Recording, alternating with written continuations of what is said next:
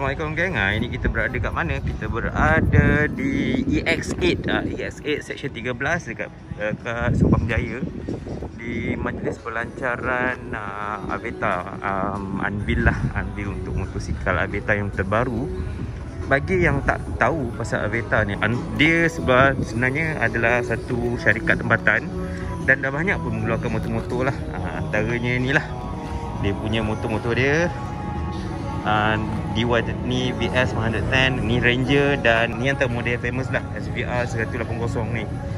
So hari ni dia nak melancarkan sebuah lagi motosikal uh, dengan enjin yang bersasaran 250cc uh, jom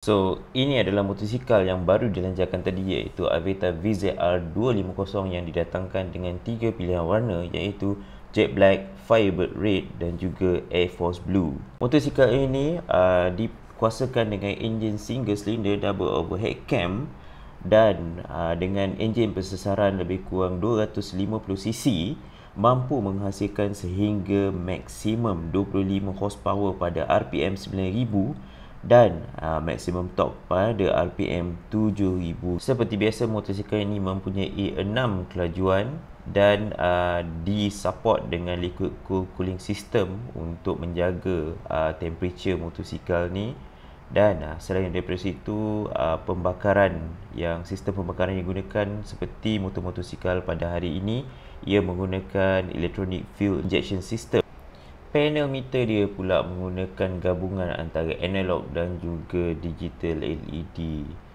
Memang lawa, memang mantap, memang klasi geng. Tangki minyak motosikal ini berkapasiti lebih kurang 14 liter. Agak besar juga dan uh, dia punya seat ni bagi aku okey, tak keras dan tak lembut sangat. Uh, agak selesa juga untuk long distance dan lampu-lampu yang digunakan pada motosikal ni keseluruhannya adalah LED. Lepas tu kan dia punya exhaust ni uh, sebab ada double output ni, dia punya bunyi tu memberikan bunyi yang berbeza walaupun dia single cylinder. Motosikal ni didatangkan dengan dual disc brake di hadapan geng dengan two piston caliper uh, kiri dan kanan dan uh, pada brake belakangnya dia datangkan dengan uh, single disc brake tapi dengan sistem CBS nampaknya bagi ekor ni mudah di adjust lah cuma perlu buka skru uh, tapi itulah nak kena adjust dia punya wiring sikit lah remau sikit lah. Motosikal ni dilancarkan pada harga RM14,998 dan aku anggarkan pada harga on the road dia lebih kurang RM15,800 dalam RM840 lah macam tu lah bergantung kepada harga deposit kurang. Kalau daripada segi loan aku anggarkan antara bayaran bulanan lebih kurang RM240 hingga RM400 sebulan. Hari ni kita bertulang nak test secara short distance untuk VZR 250 Aveta sebuah motor baru yang baru dilancarkan semalam. So mulai hari ni dah ada kat kedai-kedai geng sokong boleh pergi tengok dekat mana mana pengedar uh, sah Aveta Bismillah. So first impression aku lah. Dia punya kedudukan dia ni agak sedikit agresif lah. So dia punya ketinggian dia uh, lebih kurang uh, aku tak pasti berapa tapi ni letak sebelah kaki kat sini. Kalau kata macam satu kaki kat footpad satu kaki kat sini memang ok lah. Tapi kalau duduk kat ni memang menginjak habis mat. So aku rasa dia punya seat height memang tinggi lah. Uh, Jomlah kita Motor ni uh, dia punya displacement dia, engine displacement dia lebih kurang 250cc.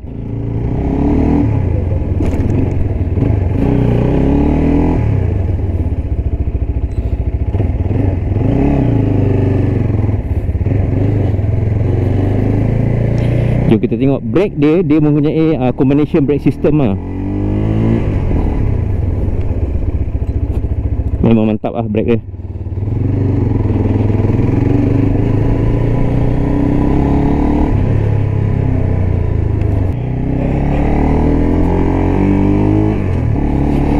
Uh, secara handling dia aku rasa macam agak okey ke uh.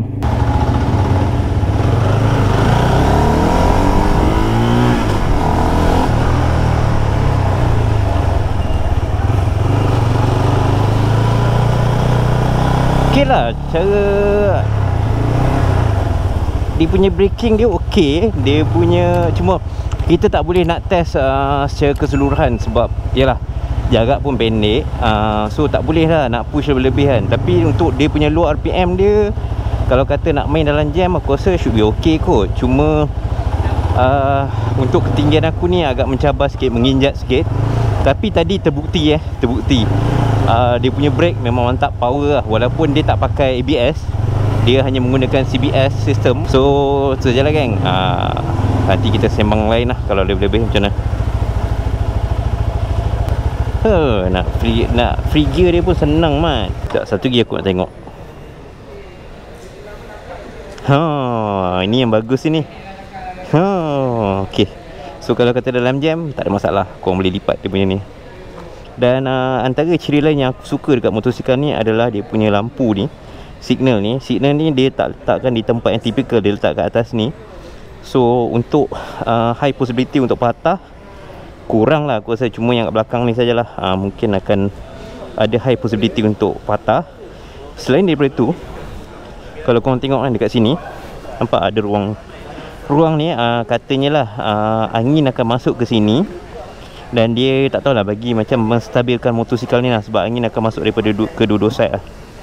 And uh, selain daripada tu aku agak suka dengan dia punya seat PVC aku rasa tapi uh, nampak dia punya klasi sikit lah. Selain daripada tu uh, dia punya dia punya suspension dia pun kat belakang adjustable. Boleh boleh adjust uh, dia punya preload. Cuma kat depan ni telescopic fork uh, tak boleh. Dia menggunakan CBS system uh, center braking system. Yang mana untuk brake tangan dia akan lock dekat di sebelah sini. Tapi kalau kata korang pakai brake kaki ni dia akan lock dekat di belakang dan juga di sebelah sana ha, Itu dia punya mantap tu. So itu saja lah geng. Kita jumpa dalam video akan datang. Assalamualaikum